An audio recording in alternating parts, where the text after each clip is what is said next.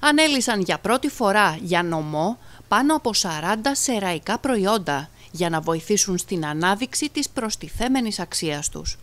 Πρόκειται για την ομάδα του Μεταπτυχιακού Προγράμματος Σπουδών Τοξικολογίας του Τμήματος Βιοχημίας Βιοτεχνολογίας του Πανεπιστημίου Θεσσαλίας, με επικεφαλής στον καθηγητή Δημήτρη Κουρέτα, η οποία παρουσίασε τα αποτελέσματα της έρευνάς της σήμερα στις αίρες. Σήμερα είμαστε εδώ όλη η ομάδα δική μας από το Πανεπιστήμιο Θεσσαλίας και την εταιρεία μας που έχουμε δημιουργήσει στο εργαστήριο για να παρουσιάσουμε αποτελέσματα τα οποία αφορούν την ε, προσθέμενη αξία των σαραϊκών προϊόντων. Έχουμε αναλύσει πάνω από 40 διαφορετικά. Ε, είναι η πρώτη φορά που γίνεται αυτό για νομό.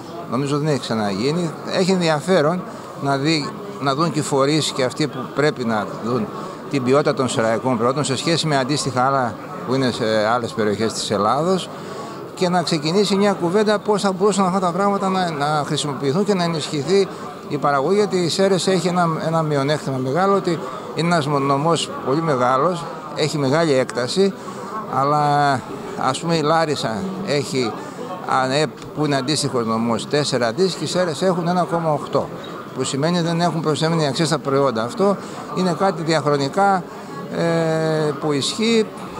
Ελπίζω ότι θα δημιουργήσουμε μια συζήτηση για να τα αποτελέσματα να τα πάρουν οι, οι, αυτοί που πρέπει να τα πάρουν και να τα χρησιμοποιήσουν.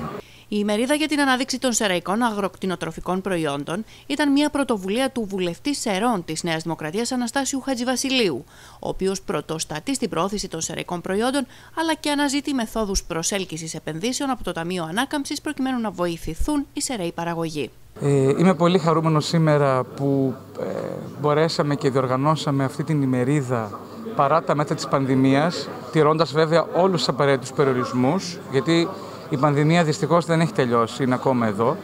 Σήμερα λοιπόν συζητάμε για την προστιθέμενη αξία των σεραϊκών αγροκτηνοτροφικών προϊόντων. Γιατί ξέρετε, στη σημερινή εποχή δεν αρκεί να πουλάς απλώς πατάτα, ρύζι, κρέας, λουκάνικο, τυρί, φασόλι πρέπει να πουλάς προϊόντα των οποίων τα ιδιαίτερα ποιοτικά στοιχεία έχεις αναδείξει. Και επειδή τα στερεϊκά προϊόντα είναι εξαιρετικής ποιότητος, είναι αξιοζήλευτα, πρέπει και μπορούν να βρουν τη θέση που τους αξίζει στα ράφια της αγοράς, όχι μόνο στη χώρα μας, αλλά και στο εξωτερικό. Αυτός λοιπόν είναι ο σκοπός της σημερινής συζήτησης, να καταλάβουμε τι ποιοτικά προϊόντα παράγουμε, αλλά και να μπορέσουμε να τα προωθήσουμε με τον καλύτερο δυνατό τρόπο προς τα έξω. Και φυσικά συζητάμε για τις ε, μεθόδους ε, προσέλκυσης επενδύσεων και έβρεσης χρηματοδοτικών πόρων στον αγροδιατροφικό τομέα, κυρίως από το Ταμείο Ανάκαμψης και Ανθεκτικότητας, το νέο ευρωπαϊκό εργαλείο που έχει συσταθεί με αφορμή την πανδημία. Στην ημερίδα που παρουσίασε η δημοσιογράφος της τηλεόρασης Επιλογές Αφροδίτης Πυρίδων και έγινε με την υποστήριξη του επιμελητηρίου Σερών, παρόντες ήταν όλοι οι φορείς της πόλης, ενώ εντύπωση προκάλεσαν τα συμπεράσματα που παρουσίασαν οι συμμετέχοντες καθηγητές.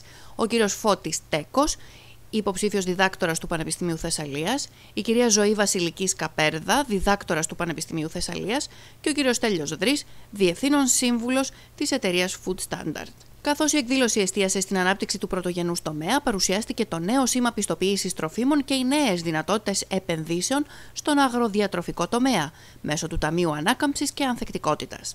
Η σημερινή μας ημερίδα, όπως γνωρίζετε, έχει θέμα η νέα εποχή στην προστιθέμενη αξία των αγροτοδιατροφικών προϊόντων και οι τρόποι ανάδειξη αυτών των προϊόντων και οι νέες δυνατότητες των επενδύσεων στον αγροτοδιατροφικό τομέα.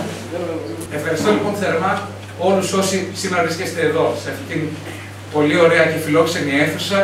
Να ευχαριστώ τον κύριο Μαλιαρά για την παραχώρηση του μιλητηρίου σήμερα και τη φιλοξενία του.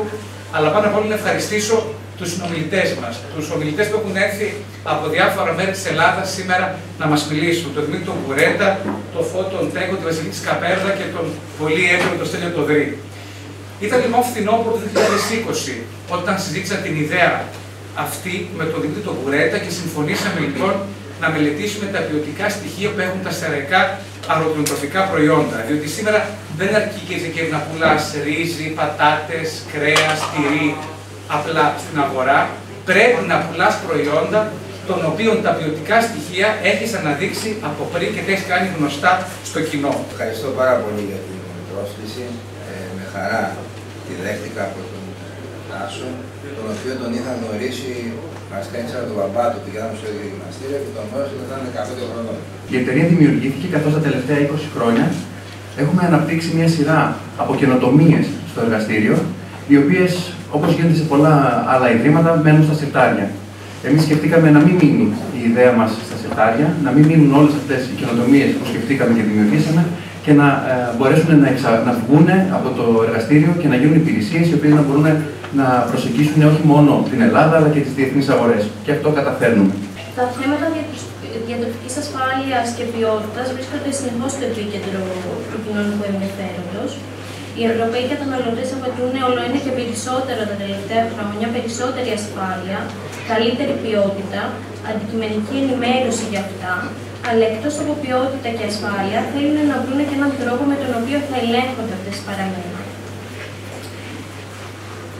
Ε, τις προάλλες έκανα ένα μάθημα σε ένα μεταπτυχιακό και ρώτησα όλους τους φοιτητές πώς αντιλαμβάνεστε την ποιότητα των προϊόντων.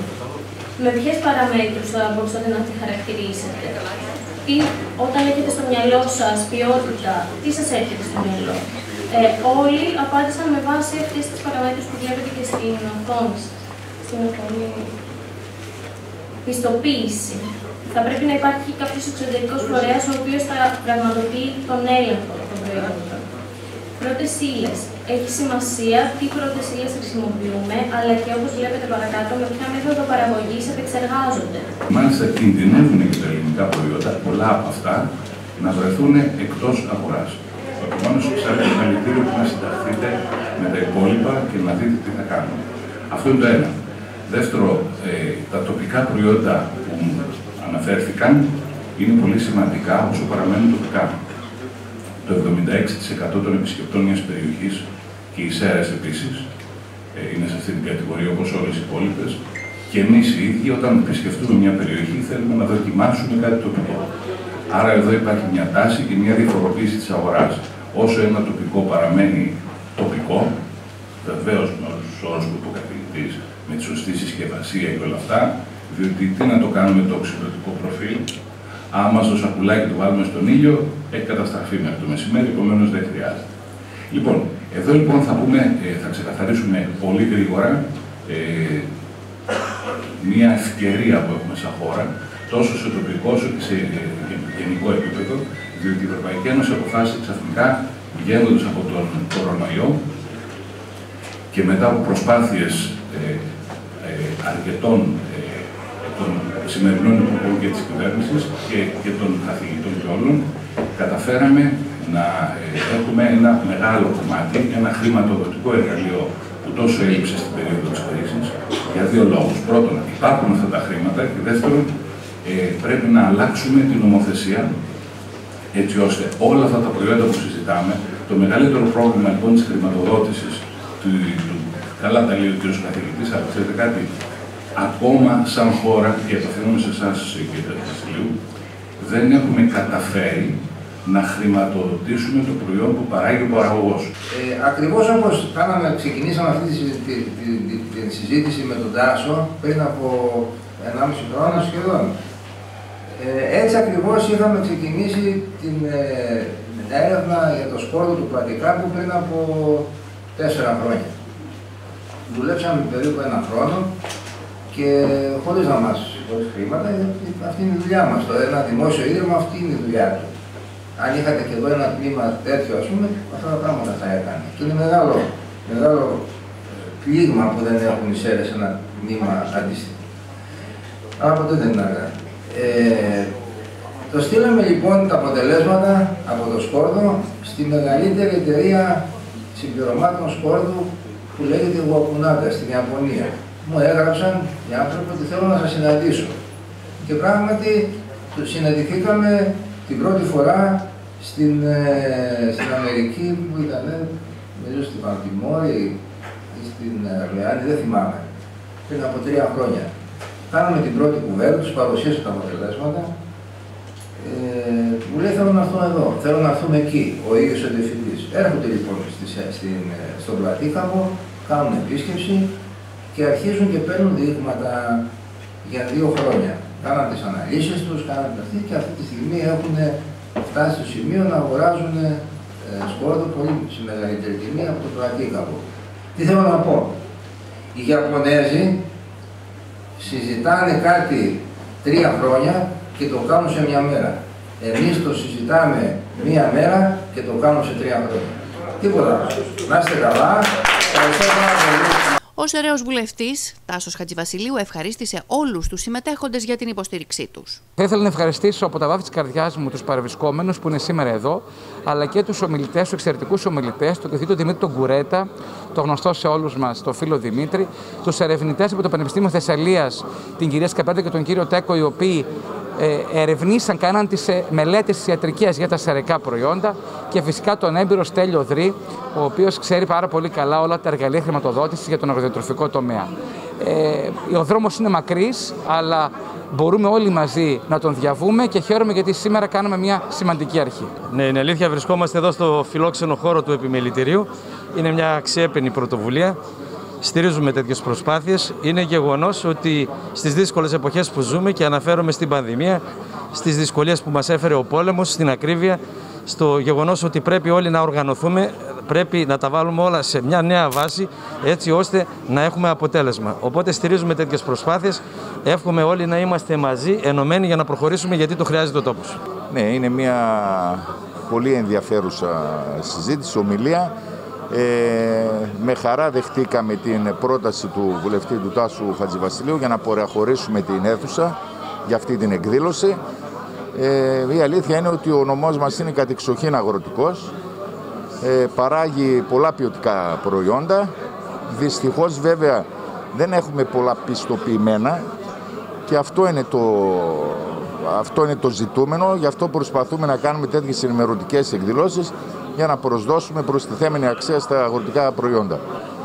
Εμείς σαν επιμελητήριο πάντα θα στηρίζουμε τέτοιες ε, εκδηλώσεις, τέτοιες δράσεις οι οποίες είναι για τον αγροτικό τομέα, είναι για την ανάδειξη των τοπικών ε, προϊόντων.